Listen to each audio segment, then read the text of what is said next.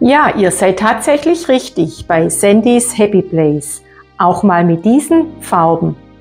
Wenn ihr Lust habt auf diese Deko-Idee, dann bleibt dran. Bis gleich!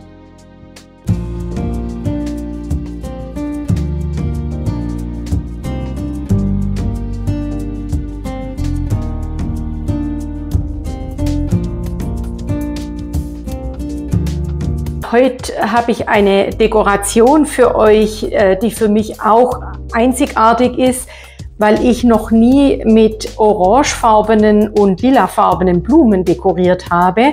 Diese Ranunkeln habe ich geschenkt bekommen und diese Hyazinthen hatte ich schon da. Da habe ich diesen Versuch gestartet, das mal etwas zusammenzubringen. Ich bin gespannt auf eure Kommentare zu dieser Dekoration. Ich habe hier ein kleines weißes Holzhäuschen oder ein kleiner Balkon, wie man es nennen mag.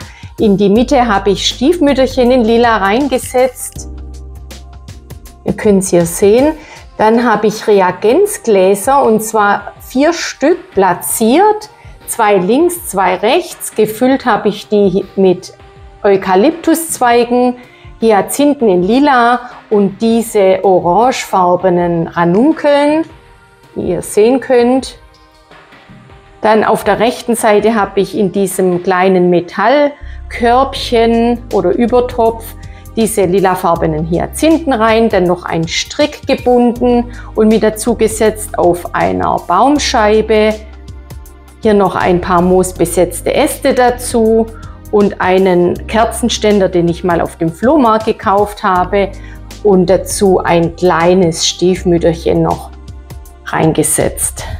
So, das ist natürlich farblich jetzt mal was ganz anderes, aber ich denke, etwas Abwechslung tut gut und man kann natürlich jetzt zu dieser Jahreszeit auch richtig Frische auf dem Tisch gebrauchen und von dem her dachte ich mir, ich teste das jetzt einfach mal aus. Bei der Kleidung hat man auch oft Orange mit Lila kombiniert und ich finde, es ist eigentlich ganz gut gelungen.